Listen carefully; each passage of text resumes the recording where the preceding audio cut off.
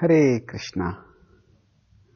To be responsible means to stop blaming the outer trigger for the inner trouble.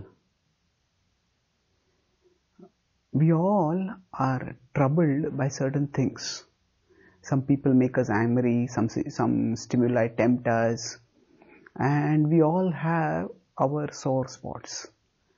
And often it is very easy to blame those sore spots. You made me angry. In that situation, what could I have done? I succumbed.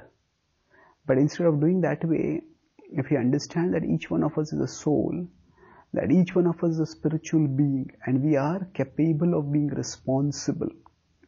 To be responsible means to uh, to be able to choose a right response. That means that when the outer trigger causes inner trouble, that means because of some situation, provocative, provocative, provocative situation outside, if we start succumb, if we start getting agitated and then we act on that agitation and succumb, then that is, that is our problem. So we can't keep blaming externals. And this capacity to distance ourselves from our externals and to take responsibility for our internals, that is central to our spirituality. To the extent we take responsibility for our spirituality, our, for our integrity, for our morality, to the extent we grow in our contribution, in our satisfaction. Just like if the traffic was very heavy and because of that somebody said that, oh this person cut across me and that's why uh, I, I met with an accident.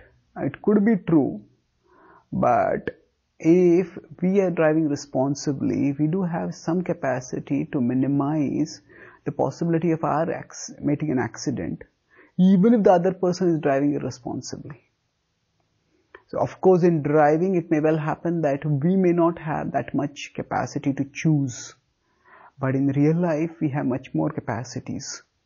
When temptations come upon us, if we choose responsibly, then we can grow properly.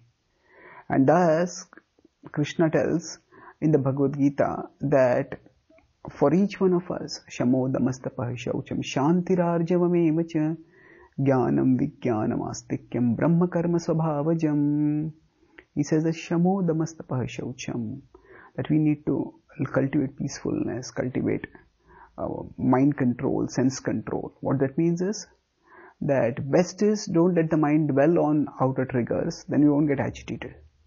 And if, if still the mind does get agitated because of perceiving some outer trigger, then we, we rein in, we use our willpower to not act out on it sensually.